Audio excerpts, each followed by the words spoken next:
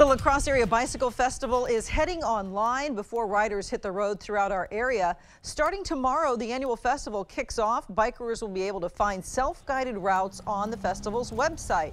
Riders can then log their trips using their phones, and then when they're all done, they can share their pictures from their rides with the festival.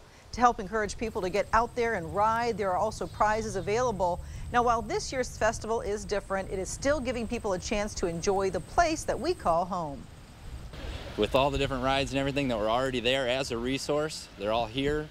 People can do them on their own during their own time with the groups or themselves or whatever. Bicycling, which is already pretty much a socially distanced, you know, you're a bike apart virtually at all times. So uh, it, it just works out really well. Some really nice temperatures out there too.